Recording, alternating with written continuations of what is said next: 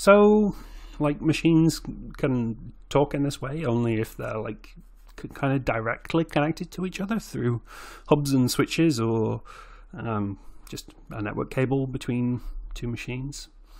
Um, uh, and if they want to talk to a machine that's off the network, they need to do something else. Um, so we need a way to kind of define like what a network is. You know, if I'm a machine trying to talk to some IP address, I need to know whether I can talk directly to it by setting its MAC address as the destination in the frame, or whether I need to do something else that we'll talk about in a bit. Um, and the way we do that is, as well as each machine having an IP address, we can configure it with, we give them a thing called a subnet mask. Uh, and you've probably seen these if you've ever delved into the network settings on your PC. So this one, 255.255.255.0, um, and that's used in combination with the source and destination IPs to decide if they're on the same network, or in this case, the same subnet, um, because our overall network is going to be made of many subnets. Um, and I always thought that these are actually really difficult to understand, like 255, 255, 2550. What does that mean? Um, and unlike just about everything else in the world, I think it's actually a lot easier to understand uh, in binary. So, uh, 255 turns out to be a, an 8 bit binary number, uh, which is all ones. So, uh, the rule is if two machines are on the same subnet, if the bits in their IPs match, where the corresponding bit in the subnet mask is a 1. So let's take a couple of examples to uh, kind of see what that really means. So these are two machines that are on the same subnet. So we've got 192.168.0.1 and 0.2, and they both have the same subnet mask, 255.255.255.0. And in binary, what that looks like is, you know, all ones for the 255s, and then all zeros for the zero, because it's zero. Um, and then these are these two IP addresses translated into binary here.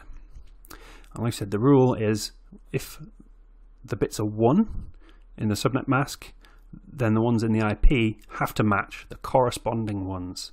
So if you imagine this as a series of columns here, everywhere there's a 1, if these match, then they're on the same subnet. That's the rule. So we can see here these bits differ. This is 0, 1, and this is 1, 0, which is uh, in decimal 1 and 2. Because you've got the one's column, the 2's column, the 4's column, the eights, and so on. Um, but because there's zeros here, that's fine, they can differ. Uh, but if we look at two machines that are on different subnets instead, so this is uh, on 0.1 and 3.1.2, um, we can say there's a 255 here in this corresponding segment. And if you know about subnetting already, you will know that means they're on different networks. Um, but why they're on different subnets really is because here where there are ones in the subnet mask, the corresponding bits in the two addresses differ.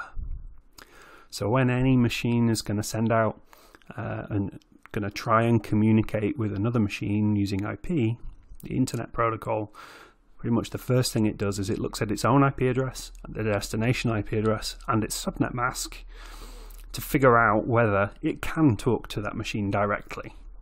Uh, and if it can, it will either look in its ARP cache uh, to find the MAC address or it will use ARP to figure it out, uh, like we talked about at the beginning.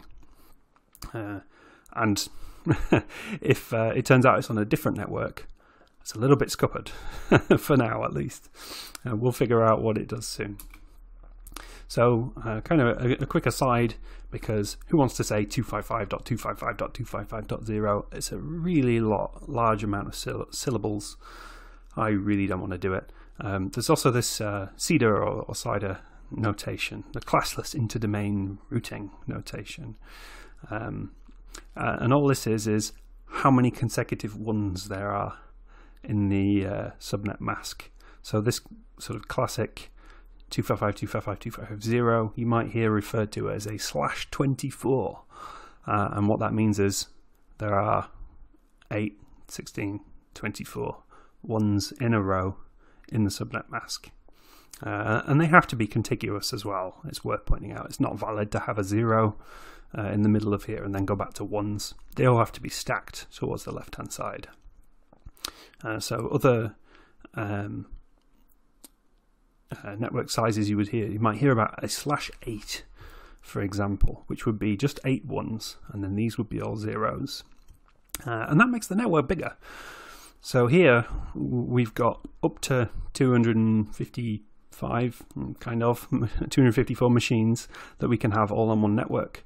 If these were zeros as well, then we would increase that by a factor of 255 for a slash 16, and then an- another factor of 255 for slash 8. Uh, so uh, this effectively controls the size of your network.